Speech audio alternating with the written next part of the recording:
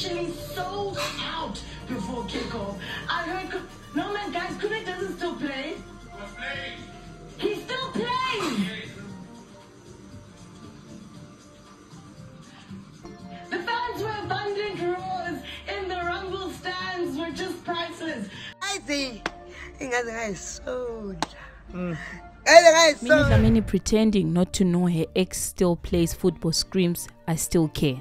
Minnie Dlamini must also move away from Itumeleng Khune. Her football presenting career cannot continue to revolve around mentioning Khune as she ages. The TV presenter Minnie Dlamini found herself in the spotlight when her reaction to her ex-boyfriend Itumeleng Khune still playing soccer went viral. But this clip opened so much criticism for her that she went on to trend even for two days. Minnie Dlamini broke up with Itumeleng Khune who was willing to pay 1 million rands for her because she felt she was too young, wanted to explore things and work on a career, only to end up marrying a dude who is now suing her for spousal support. Now she is a baby mama paying child support.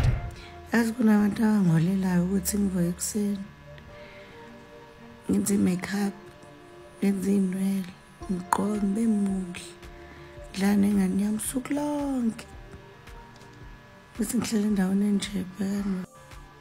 bukani bukani ukuthi ngihleli kuphi bukani ukuthi uhlele njani bukani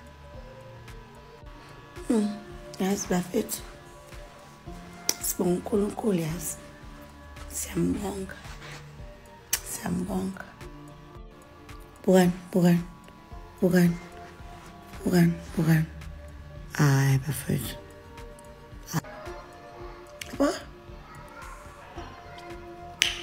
hayi athi nosebenza ke mae But setting the record straight, Minnie spoke exclusively to Zimoja to clarify her intentions. She emphasized that there is no bad blood between her and the chief goalkeeper. People must not take everything seriously. It was all a joke. There is no bad blood between him and me. She explained that a writers on the lifestyle show makes fun of anything and anyone.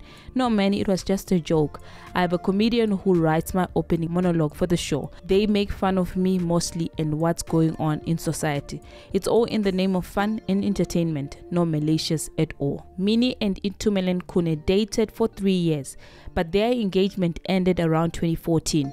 Minnie has previously spoken about feeling hesitant to break up with a soccer star due to public scrutiny. It's important to separate the past from the present, as both Minnie and Itumeleng have moved on with their lives. It is worth noting that Itumeleng went on to marry somebody else in June of 2022. The couple now shares the joy of raising two beautiful children together. This is hurting Minnie Dlamini. She only wishes that it was her. That's why she's throwing shade at Khune. When a woman broke up with you, they expect you to fall. We are not shocked about what Minnie is doing to Khune. But let's just remember that sometimes things are not always as they seem. Minnie Dlamini's reaction to Itumeleng Khune's continued soccer career was simply a light-heated moment on the show. Let's all enjoy a good laughter and continue to support those public figures as they navigate their respective paths.